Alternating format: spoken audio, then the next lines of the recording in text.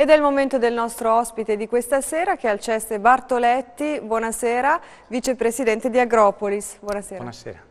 Ecco, è con noi per presentare un'iniziativa che tra l'altro parte proprio oggi, è Diversamente Uguali. Sì, è la nona edizione di Diversamente Uguali, una manifestazione oramai eh, conosciuta e affermata in, città e, e, non solo.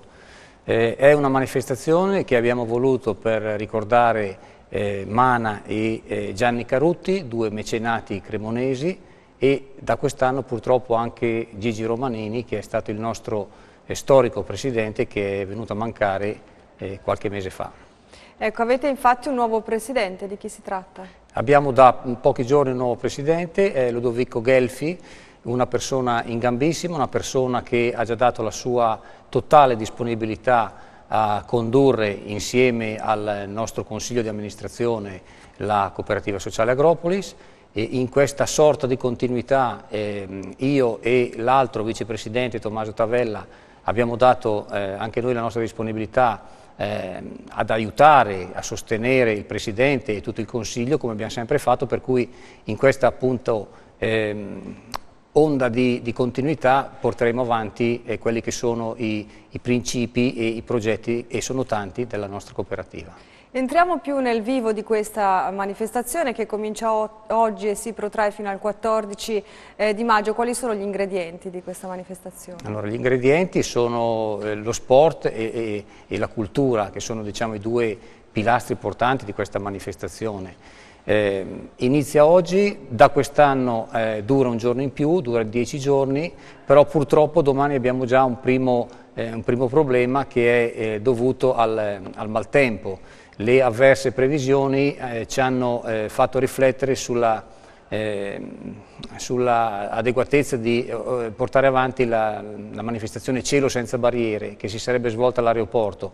Appunto, eh, avendo sentito le previsioni e mh, dopo verifiche con l'aeronautica abbiamo preferito ehm, non presentare questa, questa, giornata ma spostarla a una data che verrà individuata. Però ci sono tanti appuntamenti interessanti, c'è la danza, la scuola di ballo, sto leggendo alcune delle iniziative.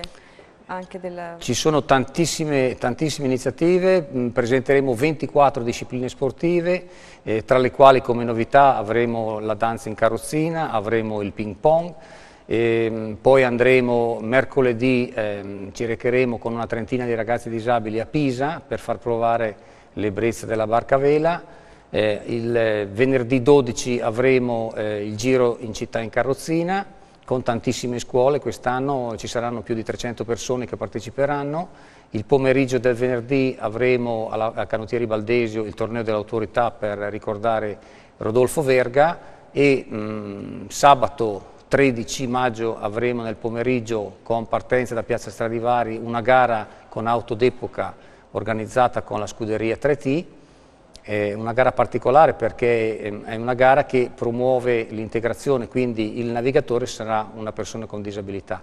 Per concludere, domenica 14 maggio, presso il campo del, di rugby del Lions Cremona avremo un triangolare e alle ore 17 ci sarà la conclusione con le premiazioni. Quindi l'invito di Agropolis è rivolto a tutti?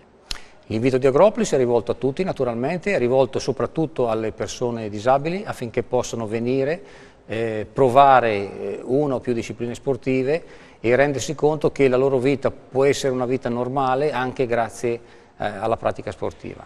Grazie allora ad Alceste Bartoletti, vicepresidente di Agropolis, per essere stati con noi. Grazie. Grazie a voi, buonasera.